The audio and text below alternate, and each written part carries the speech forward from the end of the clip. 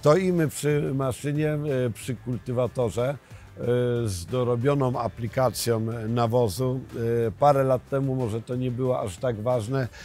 Dzisiaj jest o wiele przy tych cenach nawozu jeszcze bardziej ważne, żebyśmy jak najbardziej optymalizowali zużycie nawozu i najważniejsza rzecz, żeby efektywność tego nawożenia, tych włożonych pieniędzy była jak największa i dlatego y, aplikacja wgłębna i aplikacja nie na pierwsze 20 cm, ale poniżej 20 cm, po to, żeby to, co mówię cały czas, żeby w okresie takich susz, może nie głębokich, ale, ale, ale te okresowe susze nam się powtarzają cyklicznie, e, żeby ta roślina e, mogła sięgnąć głębiej. I najważniejsza rzecz, żebyśmy nie rozpatrywali uprawy i z własnej zasobu, czyli gleby na z pryzmatu 20-30 cm, tylko poniżej. I dlatego to dedykowane nawożenie które się zaczyna od 20 cm w pszenicy, gdzieś tam do 25,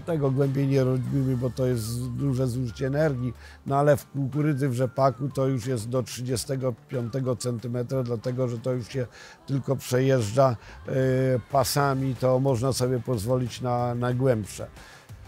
I musimy cały czas pamiętać o tym, że pszenica ma korzenie gdzieś tam do półtora metra, jeśli nie mamy podeszwy. Kukurydza y, pobiera nawet 60%, jeśli ma ta możliwość y, składników i wody poniżej 30 cm.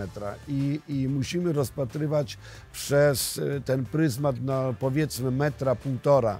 I, I tak samo nam e, ta mm, e, produktywność gleby wzrośnie, jeśli będziemy patrzyli nie przez metry kwadratowe, tylko przez metry sześcienne, bo, bo wtedy możemy zagęścić łan, możemy wyprodukować więcej kłosów i te kłosy wykarmić. Jeśli e, tak samo jest z zasobnością.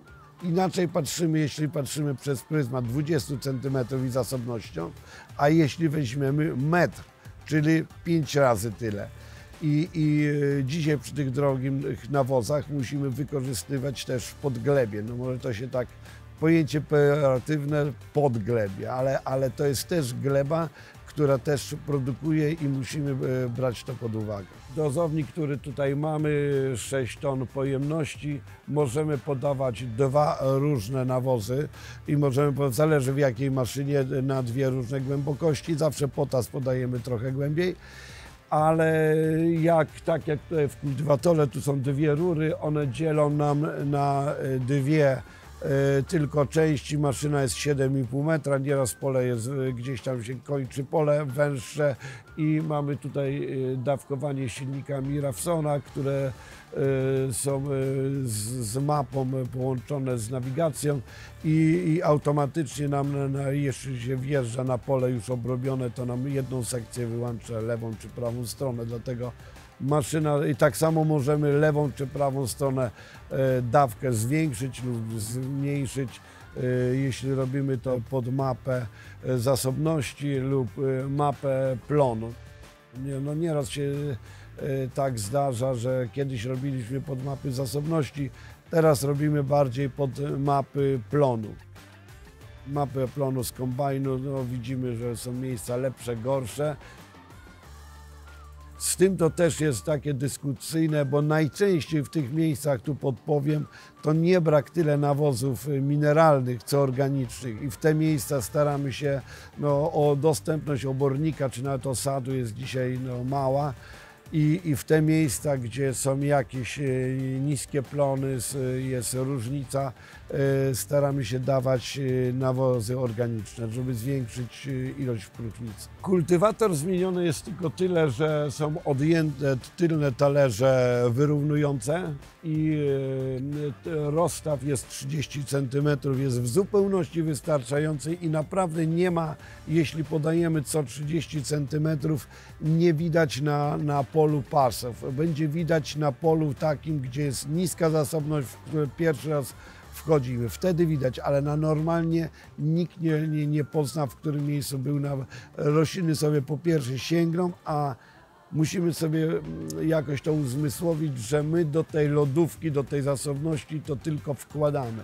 To nie jest powiedziane, że roślina danym roku to pobierze. Ona może pobrać to w następnym roku, ale to musi być stosunkowo nisko, bo mm, przy dużych plonach, przy wysokiej, e, dzisiaj mamy bardzo do, coraz lepsze, bardzo dobre odmiany. Pobudzamy jeszcze azotem i my, jeśli nie orzemy, wyciągamy wszystko do góry, składniki do góry. To się nam mineralizuje, ale to dalej jest wszystko na powierzchni, na tych pierwszych 15 centymetrach. Dlatego musimy się bawić jak w kotka i myszkę. My podajemy na głęboko, a rośliny nam to wypompowują e, do góry. To jest też no, bardzo dobre, bo, bo mamy bardzo dobry rozwój e, młodych roślin, bo tam jest duża zasobność, duża ilość próchnicy. E, Pole nam się nie zasklepia, nie mamy tak, czegoś takiego jak e, zabijanie przez ulewne deszcze. Także my podajemy na głęboko, a rośliny nam to wypompowują, mówiąc kolokwialnie, do góry.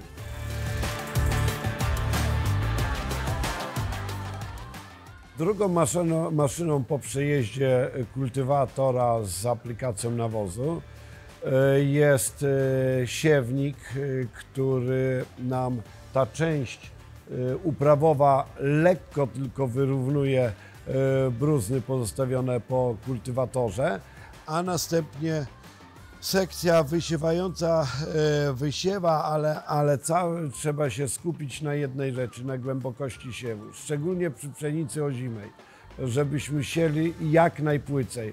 Proszę Państwa, płytki siew to jest o, o wiele lepsze krzewienie pszenicy i przede wszystkim zdrowotność. My, nie, my mamy ten hipochotyl bardzo krótki i nie ma e, porażenia chorobami podstawy źdźbła. W ogóle wigor roślin, e, które z małej głębokości wschodzą jest o wiele lepszy. Jesienie, no wiadomo, że, te, że to nieraz są nierówne wschody, ale jeśli nie orzejmy, podsiąkanie jest na całej powierzchni równe i wschody y, będziemy mieli dobre, ale zdrowotność roślin będzie o wiele lepsza i ten wigor, turgor, to, to wszystko widać na polu, jeśli płytko zasiejemy. Rośliny nie mogą wychodzić, siewka podczas piórkowania nie może być żółta, musi być y, intensywnie zielona. Dlatego te koła z tyłu to nie są koła dogniatające, tylko koła nazwijmy kopiujące. One mają nam trzymać głębokość i ta głębokość